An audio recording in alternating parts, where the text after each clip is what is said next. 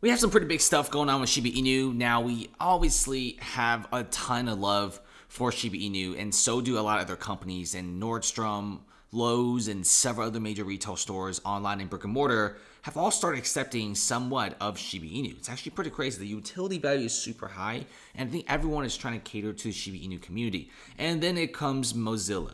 And Mozilla's Dogecoin pitch and donation pitch results in some of the biggest backlash. And this is what's going on. So, Mozilla on Twitter is saying that, hey, if you have a bunch of these cryptocurrencies, feel free to come to BitPay because we're accepting donations. And Mozilla is like, yeah, we kind of need some money here.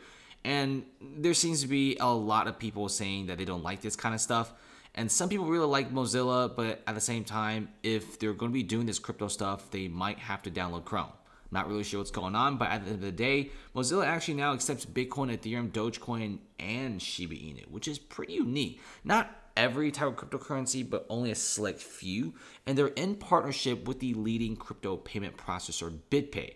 Now, the really funny thing is, BitPay started listing Shiba Inu not because they were willing themselves, but apparently Adam Aron, the CEO of AMC, actually went up to BitPay and was like, hey, how about this? How about we partner up with you guys and we could start accepting Shiba Inu payments. We're AMC, we're pretty big. We're like the biggest movie chain, perhaps even the world. But guess what? How about you guys start accepting Shiba Inu, please? And BitPay is like, sure, why not? So now BitPay is officially accepting Shiba Inu, and now Mozilla is also talking about it as well. So things are looking pretty good.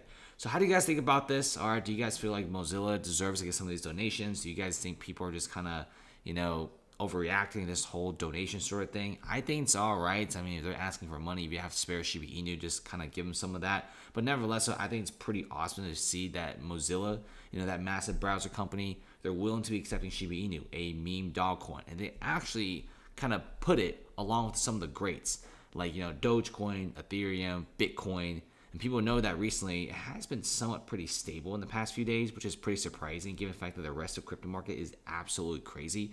So things are looking pretty good for the overall dog coin. Thanks for watching, guys.